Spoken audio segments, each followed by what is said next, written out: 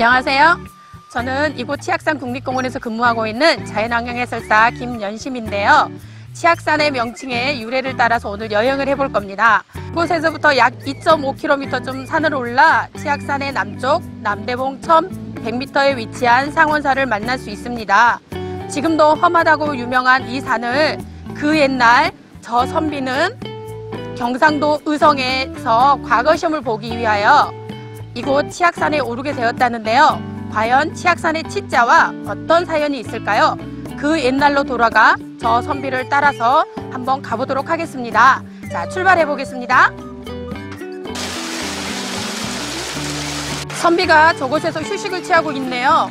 계곡에 잔잔히 흐르는 물과 수려한 경치는 한양길을 재촉하여 가는 저 선비의 발길을 막아서기에 한치의 부족함이 없어 보입니다. 그런 의미에서 오늘 우리도 여기서 잠깐 쉬어가 보도록 할까요?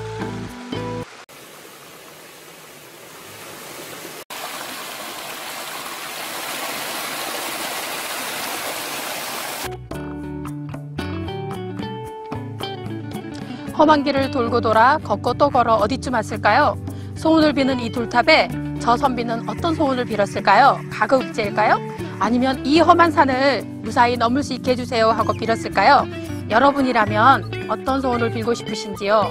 옛날 우리의 선조들께서는 멀리 마을을 떠나거나 장사를 하기 위해 길을 떠날 때 마을 어기나 산 입구에 있는 이 돌무더기에 돌을 올리며 무사기한을 빌기도 하였다는 토속 신앙이 있는데요.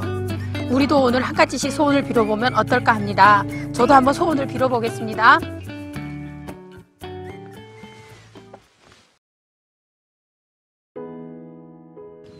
옛날 의성 땅의 선비가 한양으로 과거를 보러 이곳 치악산을 넘어 가던 중 구렁이가 꽁 새끼를 잡아먹으려고 했습니다. 그것을 본 선비가 꽁을 구하기에 메고 있던 화살을 쏘아 구렁이를 죽이게 되었는데요. 이날 날이 저물어 묵을 곳을 찾고 있던 선비는 작은 불빛을 보고 그곳을 가보니 허름한 집에서 소복을 입은 여인이 나와, 나왔던 것이죠. 여인의 배로로 이곳에서 하룻밤을 묵게 되었는데요.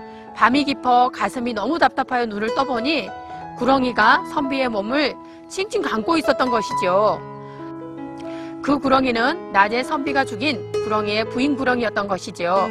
남편의 복수를 위해 선비를 죽이려고 했던 것인데 선비는 살려달라고 애원을 했고 구렁이는 새벽이 동이 트기 전 저 범종 소리가 세 번 울리면 살려주겠다고 한 것이지요.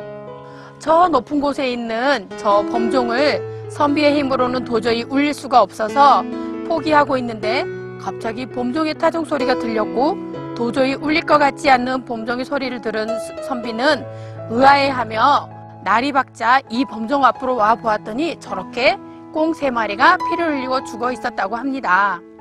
낮에 구워졌던 꽁 세 마리가 은혜를 갚기 위해 희생하며 범종을 울렸던 것인데요. 꽁의 보온설화로 인하여 꽁지자를 써서 치악산이 되었다고 합니다. 치악산의 치, 이제 의문이 풀리셨나요? 지금도 범종이 잘 울리고 있는지 한번 울려보겠습니다.